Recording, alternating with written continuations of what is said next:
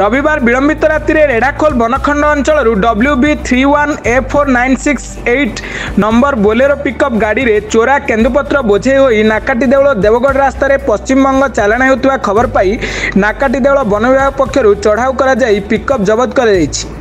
ଏ ଘଟଣାରେ ସମ୍ପୃକ୍ତ ଗାଡ଼ି ଡ୍ରାଇଭର ପଶ୍ଚିମବଙ୍ଗର ପୂର୍ବ ମେଦନାପୁର ଅଞ୍ଚଳର ସୁଦୀପ୍ତ ବାଗକୁ ଅଟକ ରଖାଯାଇଛି ଶହେ ତେପନ ବଣ୍ଡଲ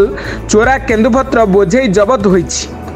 ସମ୍ବଲପୁରରୁ ବିନୋଦ କୁମାର ସେଠୀଙ୍କ ରିପୋର୍ଟ ବ୍ଲାକେଟ୍ ନ୍ୟୁଜ୍ ଓଡ଼ିଆ